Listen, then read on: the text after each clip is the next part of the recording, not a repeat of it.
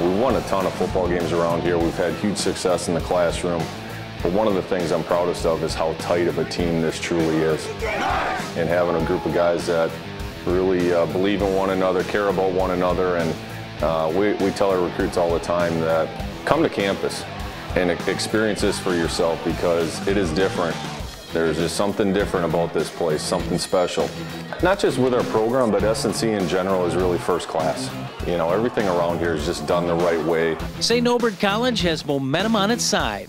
Over the last decade, St. Norbert has had well over $100 million in new or renovated facilities, including a new $40 million state-of-the-art science facility that houses the Medical College of Wisconsin and the impressive $26 million Mulva Family Fitness and Sports Center.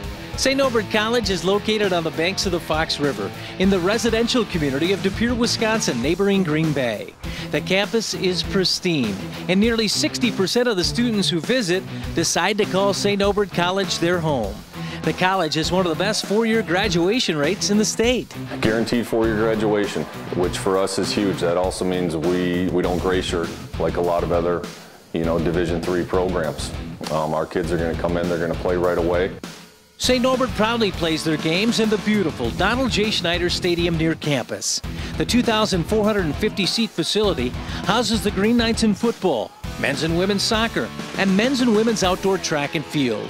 The locker room facility is second to none in Division Three. The biggest thing you're going to see is great effort and our kids playing together. Uh, the team comes first around here. Um, our kids are selfless, putting uh, you know putting the team before themselves you know, offensively, we're, we're gonna we're gonna move the ball around and you know get it to our playmakers, play fast at times. Defensively, you're gonna see our guys flying around uh, with great athleticism and speed and arriving at the ball violently. There's a lot of expectations in this program, and that expectation is to win the conference, get a championship ring, and move on to the playoffs. The Green Knights football coaching staff is a blend of youth and experience, and it includes Hall of Fame coaches. Yeah, we got a great group group of guys uh, that number one believe in you know, our philosophy of running this program and taking care of our kids and, and treating them the right way. St. Norbert has a full-time equipment manager and a full-time strength coach.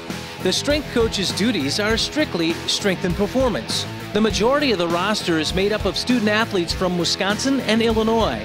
However, the Green Knights do tap into the Upper Peninsula of Michigan and also recruit on a national level as well. There's over 50 academic All-American honorees who have graduated from St. Norbert College, more than any other school in the Midwest Conference.